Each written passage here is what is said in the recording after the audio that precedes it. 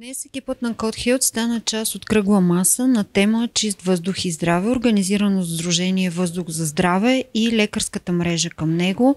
За темите свързани с мръсния въздух и те как влияят върху здравето ни, останете с нас, за да видите.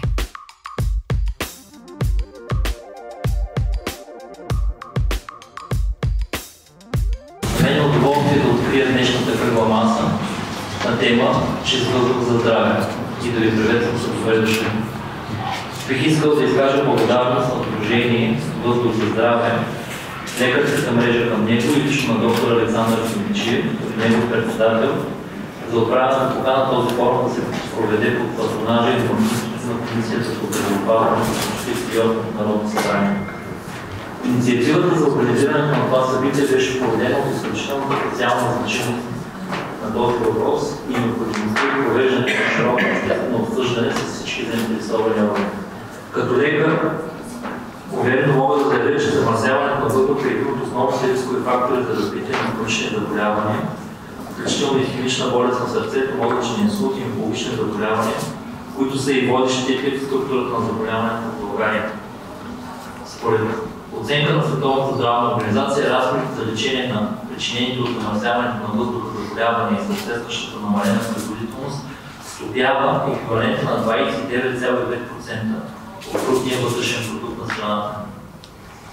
Днешната кръгла маса цели да се поставят на обсъждане съществуващите проблеми и предизвикателства, както и да се потърсят възможностите за своевременното запълване на нормативната празнота в действащото законодателство по отношение на качеството на въздуха и за изготвяне и въвеждане на дългосрочни последователни политики за чист въздух, в центъра на да бъде поставено общественото здраве.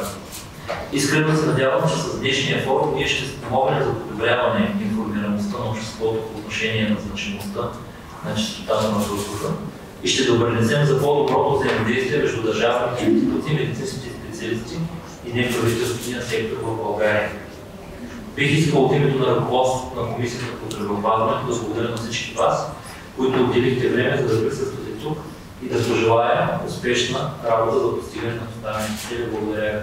Благодаря ви много, доцент Томев. Първо искам да изкажа огромната си благодарност към колегите, към комисията, към администрацията на комисията включително и към всички останали партньори и самишленици, които виждам около нас, защото тази тема е изключително важна.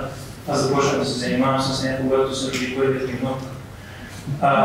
Когато говорим за замърсяването на въздуха, някакси понеже той не се вижда много често, темата е малко страни, обикновено така, гражданското общество натиска повече, докато държавните органи малко по-бавно се движат, но реално на този слайд съм опитал, да покажа какво представлява замърсяването на въздуха. И една от колежките от комисията точно това ми каза, аз имам каза рибки в къщи и когато това се случи в ляво, всъщност рибките умират. Ние, понеже имаме ниски нива на замърсяване, смъртността е по-ниска, но въпреки това е много висока. В България между 10-15 хиляди човека загиват. Исках просто да ви кажа колко важно нещо е въздуха. Ние го приемаме за даденост, но реално и по отношение на индивидуалното здраве, този кръг индивидуалното здраве е синята част, и по отношение на здравето на нашата планета, въздухът има решаващо значение. По отношение на личното ни здраве, около 50% от вредните ефекти, които получаваме от взаимодействието с околната среда.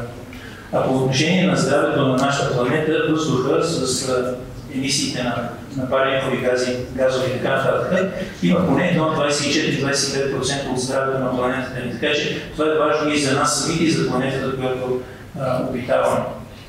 Когато говорим за здравни ефекти, трябва да знаем какво точно измерваме. Това, което най-често измерваме е това, което струва най-много пари когато някой загине, загубата на брутния вътрешен продукт е най-голяма там. Затова най-често говорим за а, смъртността, свързана с замърсяване на въздуха.